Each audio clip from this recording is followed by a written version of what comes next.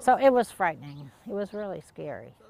Nancy Melhouse says on Saturday around 3, heavy winds and rain made its way through St. Charles County. She says she looked up and could see the branches from a large tree in her yard coming through the roof of her carport. It's a big tree. Yeah, I didn't realize, you know, you don't realize till a tree comes out of the ground how big it is. Melhouse says it was an incredibly close call when she heard the first cracks and groans from the tree.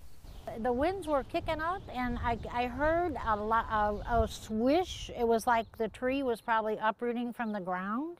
And when about the time that it did that, it made a loud boom, and I just jumped. The St. Charles County resident says she was in her kitchen when she looked out her window and saw the downed tree and says she was just feet away and could have been crushed.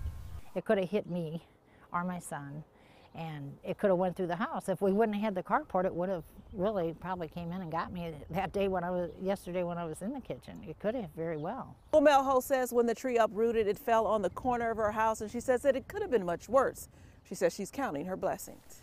Melhouse says she's glad that the rest of her house was not damaged. Now the cleanup begins. I mean, I've only lived here about 16 months, 15 months, and the tree looks pretty good, but I think the saturation of the water and the, the thing that this type of tree uh, doesn't have many roots, deep roots, that that water saturated when that wind got it, it just went under it and got it. In St. Charles County, I'm Kelly Hoskins.